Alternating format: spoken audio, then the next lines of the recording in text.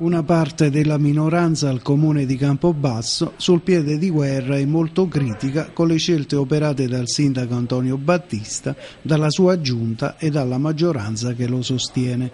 Sono i consiglieri del polo civico che non riescono a comprendere l'esigenza di nominare il top manager del comune, un'operazione che costa in termini economici davvero tanto e che mostra a loro parere tutta una serie di anomalie e alcune illegittimità anche di natura etica.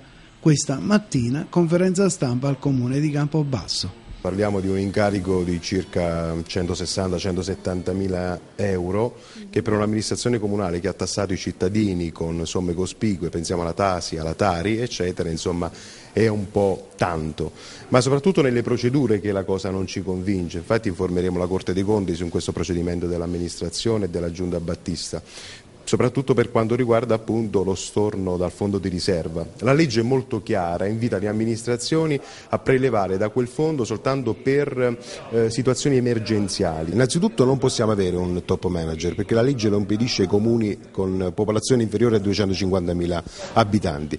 Nel nostro caso hanno creato un'area ad hoc, questo è il fatto grave, quindi è un dirigente è coordinato, dice la, la legge, ed equiparato, quindi anche sotto l'aspetto della contribuzione. Hanno aggiunto ulteriore cifra di 51.000 euro ad persona, ma questo è un altro fatto grave, senza obiettivi di risultato, cioè non, non hanno specificato ti do questo in virtù del fatto che mi hai fatto raggiungere questo obiettivo, lo danno a monte e questa è un'altra anomalia. E il fatto stesso che si preveda, ripeto, una figura di coordinamento presuppone che non c'è questo coordinamento ad oggi e quindi eh, la dice lunga sull'amministrazione. Se proprio il centrosinistra voleva candidare qualcuno, candidava Jacobucci e non Battista.